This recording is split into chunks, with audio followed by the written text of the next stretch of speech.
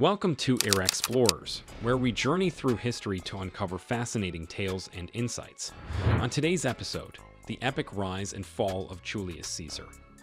Few stories in history are as compelling and consequential as that of Julius Caesar. His ambition, vanity, political savvy, and military brilliance irrevocably transformed the Roman Republic. Caesar rose to unprecedented power, crowned dictator perpetuo, before being assassinated by rivals fearful of his supremacy. His life traces an epic arc from noble birth to dictatorship to bloody demise on the Senate floor.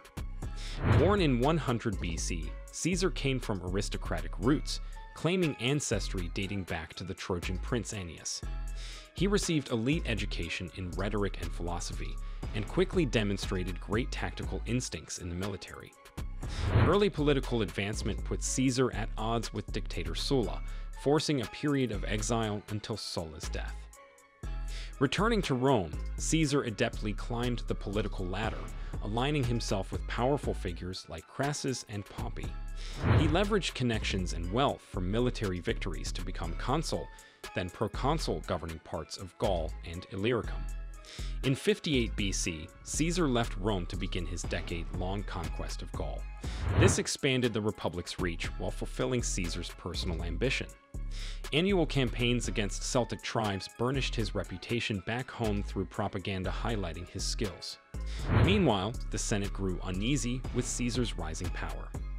After eight years pacifying Gaul, political rivals ordered Caesar to resign his command and disband his veteran army upon returning to Rome. Their aim was rendering him powerless, but Caesar refused, infamously leading his loyal legion across the Rubicon into Italy in 49 BC, igniting a devastating civil war and triggering the Republic's end. Initially outnumbered, Caesar repeatedly outmaneuvered enemies using speed and cunning.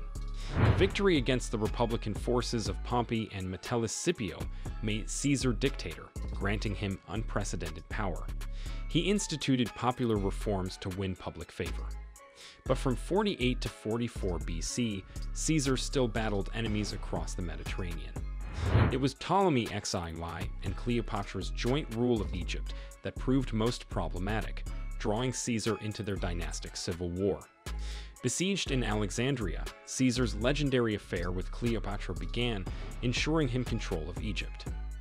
After returning to Rome victoriously, Caesar continued consolidating power.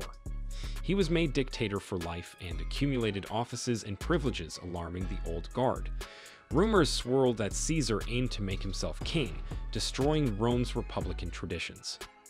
Amid growing discontent, on March 15, 44 BC, a band of 60 senators conspired to assassinate Caesar. Despite omens of impending doom, he walked into the Senate where they stabbed him 23 times. Caesar fell at the feet of Pompey's statue, ironically killed by protégés he had pardoned. In the power vacuum following Caesar's murder, civil war erupted again, pitting his heir Octavian against Mark Antony and Republican holdouts. By 27 BC, Octavian ruled Rome as its first emperor. But the Republic was gone, its institutions too weakened to resurrect. So what is Caesar's legacy? Most acclaim his military and administrative genius. Many Romans viewed him as a savior in a time of crisis. But Republicans considered Caesar a tyrant who brought Rome's destruction. Shakespeare wrote Caesar's ambition should be made of sterner stuff. Perhaps it consumed Caesar in the end. Regardless, his life story is epic. To fully understand Caesar's rise and demise, we must begin with the late Roman Republic in turmoil, ripe for ambitious men to seize power. For over 400 years, Rome expanded via conquest while retaining republican rule. But factionalism between populares, optimates, and boundless generals like Marius, Sulla, Crassus, and Pompey destabilized old institutions. Rome's vast reach required strong governors able to levy legions abroad, but commands were term limited, prompting leaders to seek extensions to avoid prosecutions back home. Longer governorships became expected, letting generals amass loyal armies and use military fame to gain political influence. Caesar emerged in this tumultuous climate, an expert at navigating shifting alliances. His diplomatic skills forged critical partnerships, often sealed through strategic marriages. But growing allegiance of Caesar's armies was most concerning to senators in Rome. As proconsul and commander in Gaul, Caesar expertly mixed diplomacy with swift violence to expand Rome's reach and his own reputation.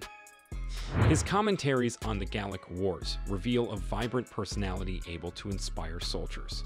Caesar also bribed key officials and used propaganda to sway public opinion in his favor. Back in Rome, Caesar navigated complex republican politics, courting popular support through spectacle. His accumulation of power and seeming arrogance turned elements of the Senate against him. But ordinary Romans appreciated Caesar's reforms and charisma, even deifying him after his death. Caesar's assassination on the Ides of March has echoed through history as an archetypal moment. Was killing Caesar justified tyrannicide, political necessity, or simply jealousy manifesting as treason? Opinions remain mixed, but contemporaries were shocked that supposed loyalists were his murderers. In many ways, Caesar created his own destiny through ruthless ambition, tactical brilliance, and populist reforms as dictator. But he also fell victim to Republican rivals and a political system unwilling to bend. Caesar's life shows how individuals shape history, yet also become captive to forces beyond control. His legacy endures as both the conqueror who built an empire and the tyrant destroyed defending a republic. The seeds of Caesar's ambition were planted early in life. As a youth, he escaped Sulla's persecution by fleeing Rome and joining the military, where he earned valuable battle experience. Caesar absorbed Greek and Eastern culture during this exile, which later factored into his more cosmopolitan worldview. Returning to Rome, Caesar became known as a skilled orator and lawyer willing to prosecute corrupt officials. This populist positioning helped launch his political career. Caesar was voted Pontifex Maximus as Rome's chief priest and later elected praetor and consul. But Caesar needed military glory, wealth, and influence to advance further. An appointment as propraetor governing Spain from 61 to 60 BC allowed him to conquer new territories and pay off crippling debts. This governorship whetted Caesar's appetite for extended commands. The first triumvirate with Crassus and Pompey enabled Caesar to secure five-year control of Cisalpine Gaul. Later, the Senate extended this to all of Gaul in the hope it would end his influence. Instead, conquering Gaul greatly expanded Caesar's power for the fateful showdown with the Republic. Caesar's years in Gaul revealed his strengths as a commander. He inspired loyalty in legionnaires, some following him for decades. Skilled diplomacy co-opted tribes. When needed, Caesar ruthlessly punished those who defied Rome. After the bloody Gallic Wars ended in 51 BC, Gaul was fully conquered, altering Europe's future. While Caesar was expanding Rome's borders, Pompey remained influential back home. Their alliance deteriorated amid status rivalry. Optimate forces in the Senate promoted Pompey while obstructing Caesar, but neither wanted direct confrontation given Caesar's hardened legions. Curtailing Caesar's power emerged as the Senate's goal. They ordered him to resign his command and disband his veteran army before returning to Rome unprotected. Caesar's refusal led to the crossing of the Rubicon into Italy on January 10, 49 BC. The die was cast. Civil war engulfed Rome, but Caesar's organizational genius prevailed. Clever tactics like masking troop movements and targeting enemy supply chains outpaced larger Republican forces. Within six months, Caesar was victorious and named dictator. Caesar governed as an enlightened yet unapologetic autocrat. He centralized control, bricks over institutions. Caesar imposed order using loyal subordinates, given power that weakened the Senate but his popularis reforms and grand displays won public admiration in Rome. By showing mercy to former enemies, Caesar attempted to heal divisions. But pockets of dissent remained among Republican traditionalists alarmed by Caesar's ambitions. His apparent monarchical aspirations created growing rifts with longtime allies. In 44 BC, Caesar prepared for a major eastern campaign against Parthia. Consolidating power as dictator perpetuo likely aimed to ensure stability while he was away. But to nervous senators, this confirmed Caesar's despotism. It set the stage for assassination by dozens of Roman elites, some of whom Caesar had pardoned earlier. Caesar's sudden murder at the height of power and popularity made him a martyr. Ordinary citizens were enraged, attacking the assassins' homes. Caesar's adopted son Octavian shrewdly used public animosity to eventually defeat Republican forces. Rome's civil wars ended only with the empire's founding. Caesar's life traced a meteoric arc from charismatic consul to victorious general to unrivaled dictator. But he also personified the turbulent late Republic era, when institutions calcified while ambition flourished. Perhaps Caesar was destined to either rule the changing empire or be destroyed defending the fading republic. Regardless, his eventful life rings epic even today. So, was Caesar's assassination inevitable due to his ambition? Could Rome have retained its government had Caesar shown restraint? We can debate these questions eternally. But Caesar endures as one of history's most towering yet polarizing figures, capable of seizing unmatched power through brilliance, yet unable to anticipate betrayal by peers. Julius Caesar came, saw, and conquered, before the very system he sought to control brought his dramatic downfall.